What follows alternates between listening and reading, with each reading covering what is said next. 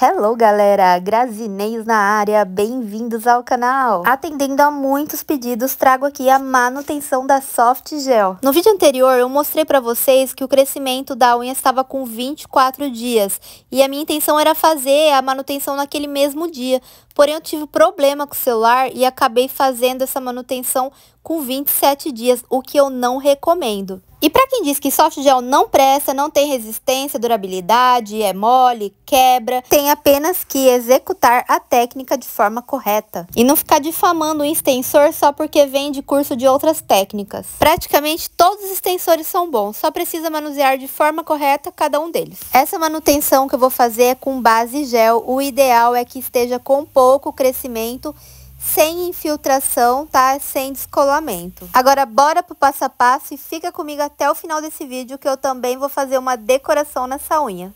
Com uma espátula, eu começo afastando bem a cutícula. Agora, venho com motor e broca. Essa broca tem um corte mais abrasivo, o que facilita aí na remoção. E nesse caso, eu vou tirar apenas o top coat e o glitter. Agora eu vou diminuir o tamanho dessa unha e geralmente eu corto de acordo com o tamanho que cresceu. Eu gosto bastante de usar essa lixa 100 180 para nivelar bem a área da cutícula junto à unha natural. Higienizo com PrEP para remover o pó do lixamento e qualquer oleosidade. Vamos a preparação química. Estou usando um desidratador, estou passando apenas na área de crescimento. Agora eu venho comprar meu adesivador também somente na área de crescimento. Eu vou fazer essa manutenção apenas com gel base, tá? Esse gel base é aqueles que vem com cor no vidrinho de esmalte Aí você pode usar um gel base da sua preferência. Esse aqui eu tô testando pela primeira vez, por isso eu não vou mostrar qual é. Vou levar para curar na cabine por 120 segundos. Bem, eu já vi muita gente falando que essa técnica só faz a manutenção com gel base, mas não é bem assim. Se o crescimento foi maior do que esse, você precisou tirar muito produto por conta de infiltração, então, eu aconselho você a usar um gel de construção. O gel base não vai ser suficiente para manter essa estrutura e provavelmente vai quebrar. E você pode estar aplicando o gel construtor dessa mesma forma, que é uma forma de aplicação sem lixamento. O ideal é você utilizar um pincel mais fino como esse aqui, que você vai pegar menos produto e ir espalhando de um lado para o outro. Se você pegar uma quantidade muito grande de gel, você vai ter lixamento excessivo, tá? E não precisa. Observe que eu vou puxando ó, cuidadosamente o produto até a ponta. Levo na cabine para curar por 120 segundos. Higienizo por debaixo da unha, removendo todo o pó e resíduo. Agora, com esse mesmo gel base e esse pincel fininho, eu vou pegar uma pequena quantidade e vou depositar, ó, na parte de trás, tá vendo?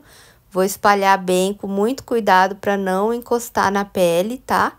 Ó, vou depositar para criar resistência para essa unha. Eu vou levar na cabine por 20 segundos apenas para estabilizar o gel. Agora eu venho com a presilha e vou colocar para acentuar a curvatura, ó, somente na borda livre, sem pegar no dedo. E eu vou levar na cabine por 60 segundos. Retirei a presilha, olha só, tá bem curvadinha. E olha essa parte de trás, que linda, gente. E eu vou passar mais uma camada fina do gel base por toda a unha. Veja que não tem excesso de produto, é como se estivesse passando um esmalte mesmo, tá? E aí eu vou levar para curar por 120 segundos. Agora eu venho com lencinho e prep, removendo toda a goma, que é aquela camada pegajosa. Essa técnica quase não tem lixamento, apenas acabamento. Até a manutenção, geralmente a unha perde um pouco a estrutura, ficando um pouco mais caída, ó. Então eu venho com essa lixa fininha, tirando o caimento, alinhando novamente as paredes laterais. E a ponta também, conforme nossas atividades diárias, vai perdendo formato, né, ficando mais arredondada. Então eu vou deixar ela também bem retinha. E agora eu venho com essa lixa buffer, removendo todo o brilho do gel base. Agora eu venho com a broquinha, fazendo acabamento, nivelando melhor a área da cutícula, verificando assim também se não ficou nenhum resíduo do produto dentro da cutícula. Você pode estar usando uma broquinha da sua preferência para a área de cutícula. Higienizo novamente para tirar o pozinho do lixamento. E nesse momento você pode aproveitar para retirar a cutícula. Eu não gosto de retirar muito a minha, eu tiro apenas excesso de pele. Agora, para acentuar a curvatura, afinar um pouquinho, eu vou vir com essa broca de curvatura C de cerâmica que tem um corte fino, deixando bem fininha essa ponta para ficar com aspecto mais natural. Galera, não se esqueça de deixar o seu like e se inscreva no canal. Agora vamos para decoração, tá? Vou usar esses adesivos refletivos da Ellen Color, que tô apaixonada neles. Olha que lindo, gente, tem um brilho incrível. Olha só, eu pego ele com a ponta do alicate, retiro e deposito sobre a unha. E com o dedo, ó, eu pressiono ele para ele ficar bem coladinho. Venho com esmalte branco e com o próprio pincel eu vou fazer uma francesa reversa fake. Aí, para deixar essa francesa reversa bem certinho, eu venho com esse pincel fininho e vou contornando, ó, ajeitando e dessa forma fica bem certinho. Novamente, com o pincel do esmalte, eu venho um pouco menos da metade da unha, passando, fazendo uma curva, uma ondulação, e com o pincel fininho eu venho ajeitando. Agora eu vou fazer aqui, ó, um tracinho bem fininho, acompanhando essa ondulação, que fica muito delicado. Agora eu vou pegar esse adesivo de linha reta e vou colocar bem rente esse traço, ó. Com o próprio dedo eu seguro ele, vou esticando e contornando bem rente esse tracinho.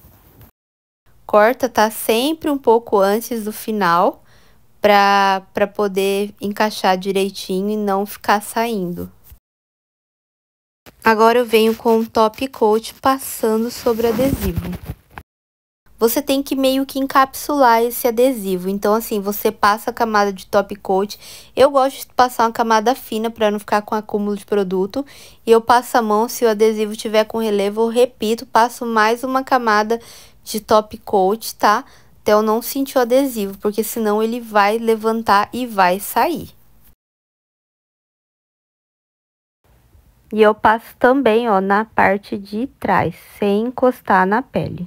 Levo para a cura total de 120 segundos. E esse foi o resultado. Olha só, gente, a delicadeza dessa unha, que coisa mais fofa. Eu tô apaixonada. Me conte nos comentários se você gostou dessa manutenção de soft gel, dessa decoração. Não se esqueça de deixar o seu like. E é isso, galera. Um abraço e até mais.